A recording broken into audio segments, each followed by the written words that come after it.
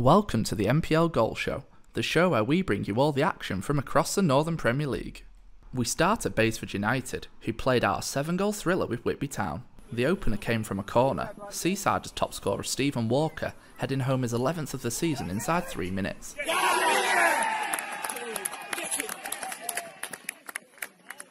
There's been no stopping Walker of late, and he helped himself to another before half time.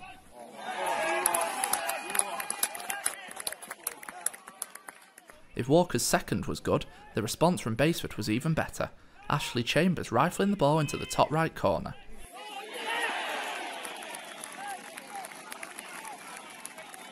That wasn't the end of the first half action as Jordan Hallam drew his side level from the penalty spot.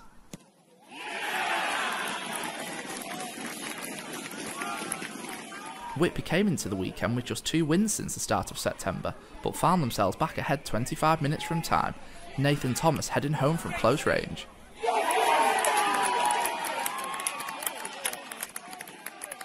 However, Basford responded again from a set piece, Hallam producing some free kick magic to make it 3 all.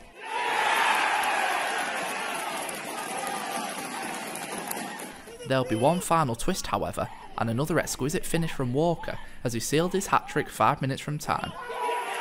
4 3 it finished to the Seasiders, who climbed to 13th. On to Gainsborough Trinity, who were hoping to bring their recent FA Cup heroics into the league. Workington were the visitors, and it took less than half an hour for the deadlock to be broken, Dylan Coggill curling a shot into the far corner.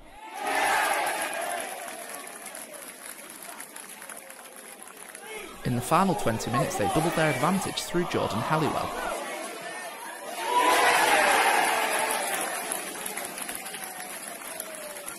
And in the dying minutes, Fraser Preston made it 3 points and 3 goals for the Holy Blues, who rise to 17th.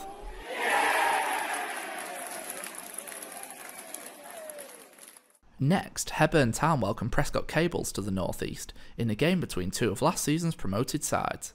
The first half saw two red cards for the visitors and two missed penalties for the home side, who were looking to keep pace at the top of the division.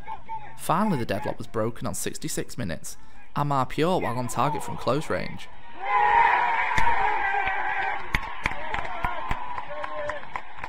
It took until the 93rd minute for the Hornets to make sure of the points, and another header, this time from Jack Donaghy.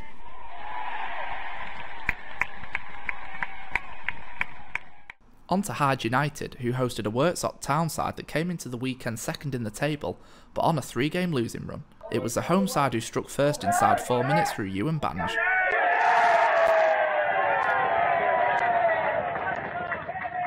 Then perhaps the goal of the round with an hour gone. To make sure of the points as well, take a bow, Callum Spooner.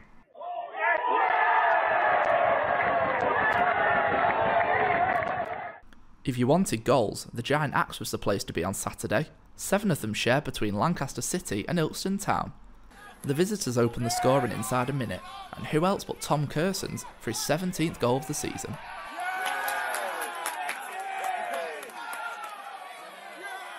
Less than three minutes later, Lancaster were back on level terms, Aaron Bennett the scorer.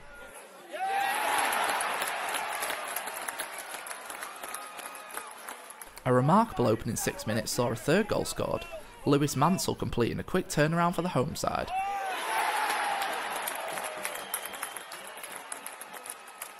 That was just the start of the drama as George Wilkinson levelled up midway through the first half.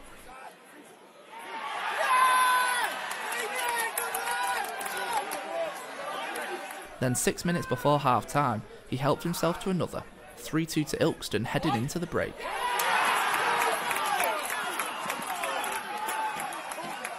Or so the visitors thought. Aaron Bennett had other ideas, rifling home his second in first half stoppage time.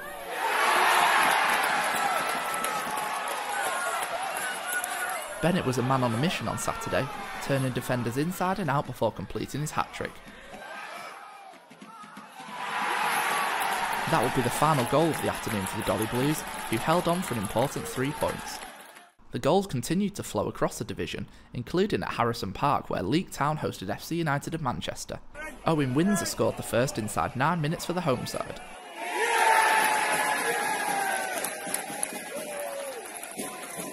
But less than 10 minutes later, the visitors were back on level terms from the penalty spot. Paul Ennis the scorer.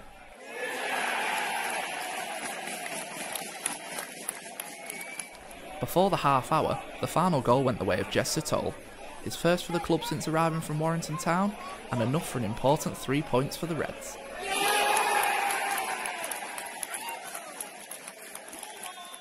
Next up, league leaders Macclesfield welcome Morpeth Town to the Leasing.com stadium, with commentary coming from the home side.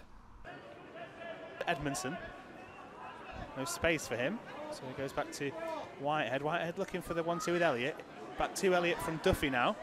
Elliott trying to turn and get it onto his left foot for the shot. He can't, but he does find Whitehead. Whitehead now with a left footed shot blocked. Back to Elliott! And Elliott scores!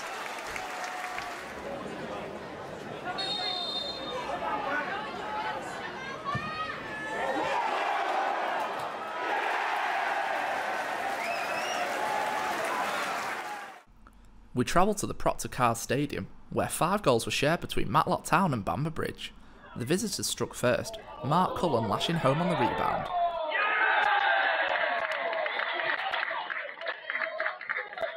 The Gladiators' response was quick, Ramey Campbell drawing his side back on level terms.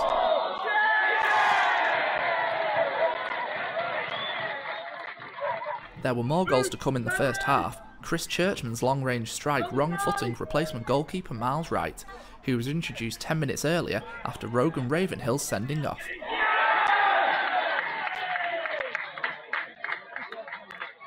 But the Gladiators showed they were made of stern stuff in the second half, Josh Granite drawing them level.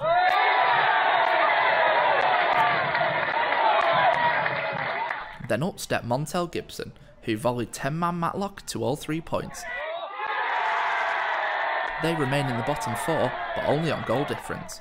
Next, Stockton Town hosted Ashton United as they went in search of a sixth straight league win. It started well for the hosts, Glenn Butterworth opening the score in two minutes after half time.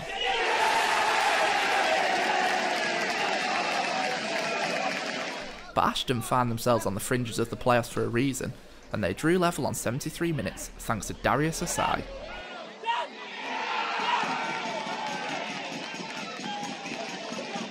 Less than 60 seconds later, turnaround complete.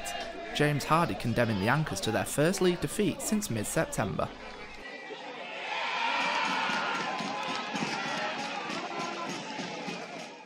Our final action of the round comes from Warrington Rylands as Michael Connor took charge of Blyth Spartans for the first time. His side found themselves behind shortly before half time. Ben Hardcastle with the goal,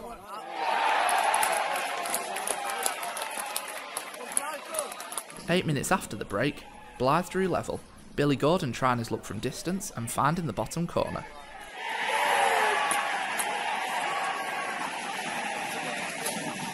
But a penalty would be what settled the teams at the Hive Arena, Hardcastle scoring his second of the afternoon. 2 1 it finished to Warrington Rylands,